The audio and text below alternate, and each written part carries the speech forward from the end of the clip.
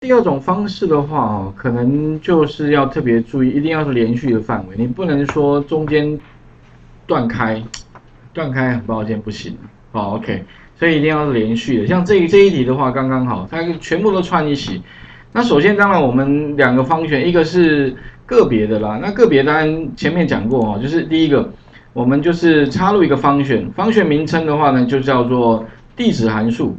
哦，本来本来是空的哦，假设这个这个拿掉，好，那插入一个方选叫地址合并。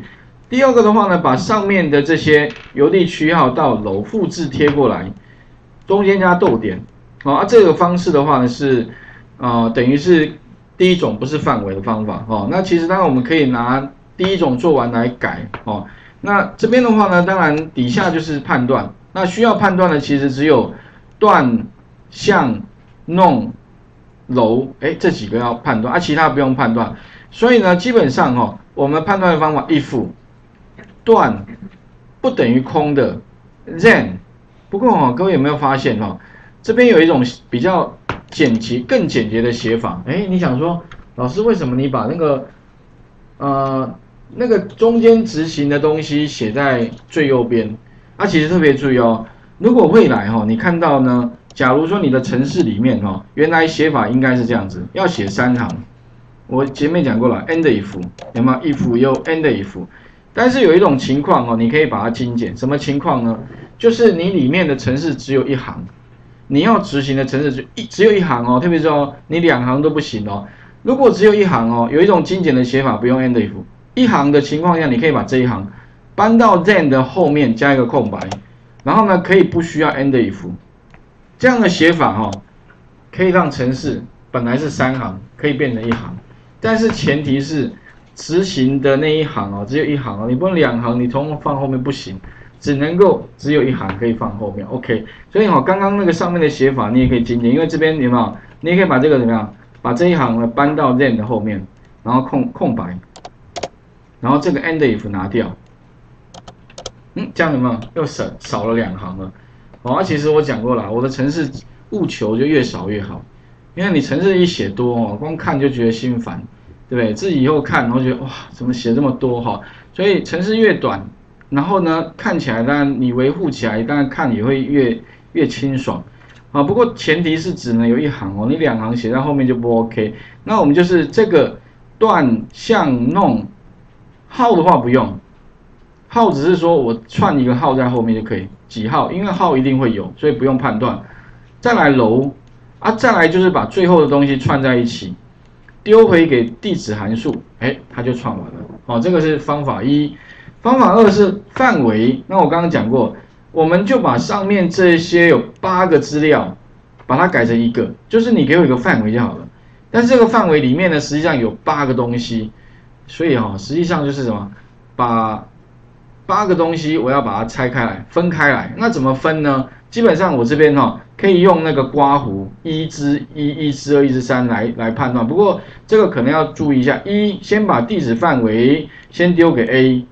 第二个的话呢，你要算了哈，诶，一之一是邮递区号，再来二是城市，三是街道，四的话就断。所以呢，如果断哈，哎，什么向五弄六。哦，所以特别重要，这边只是修改一下，A 刮胡一之一，哎，一之四，一之五，一之六，那一之七是号，一之八的话就是楼，那，最后呢再把这些东西全部再串在一起做输出，就会得到我们最后要的结果了。OK 哦，所以应该可以理解这个道理吧？哈，以后如果说你有很长的范围，那记得用范围的方式来处理哦。OK，因为前面有讲过类似的，那这个地方的话，请各位哈。哎，试一下这个范围的方式来做。那待会的话呢，我们要做一件事吧。最后做完之后，那我需要做查询。那因为查询基本上就跟资料库比较有关系。以前的话呢，通常会在资料库里面可能下一些 C 口语法，或者可能要人家帮你写程式。但是现在的话可以不需要。我们的需我们希望怎么样？地址合并完之后。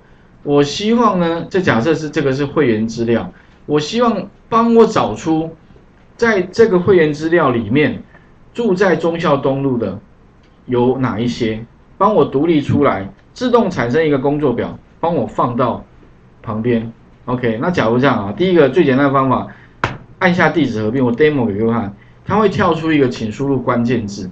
那所谓的关键字哈，就是反正在这个地址里面有的，不管前面是什么，也不管是后面什么，假设有忠孝东路好了哈，或者其实就忠孝东路，OK 哈，那它会怎么样呢？帮我找到，那找到之后的话，我希望哈，那当然这个 input box 哦，输入之后它会帮我放那个变数，那这个变数之后的话，会自动帮我新增一个工作表，并且把这个名称。